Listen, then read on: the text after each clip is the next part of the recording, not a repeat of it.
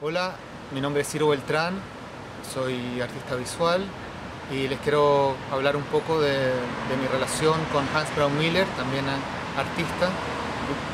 pintor y artista de mail art. Eh, nosotros nos, conocimos en la Escuela de Arte de la Universidad de Chile en 1986. Yo estaba en segundo año de la carrera y Hans venía llegando de Hamburgo y entraba a, a primer año. Eh, entró al mismo curso en el que estaba yo con César, César Osorio y, desde esa época, además que vivíamos muy cerca en el mismo barrio, nos, hicimos muy buenos amigos, una, amistad que dura hasta, hasta ahora, todos estos años. Y dentro de eso, digamos, puedo, decir que, que, conozco muy de cerca su proceso creativo, su trabajo, porque por una parte estuvimos eh, pintando juntos, haciendo proyectos, eh, formamos un, colectivo que se llamó La Preciosa Nativa con, otros amigos más y pintamos juntos, hicimos exhibiciones con Carlos Lizama,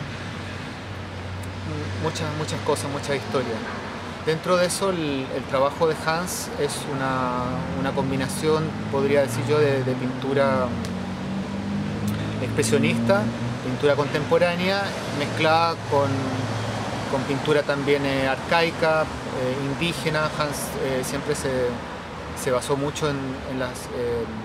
distintas como filosofías indígenas de, América precolombina y trató de llevarlas al, arte contemporáneo. La, visión de, Hans siempre tenía que ver con lo, colectivo, con el trabajo fuera de lo individual, sino con el trabajo de interacción de, los artistas, como por ejemplo el proyecto que, que hizo Help Me to Paint,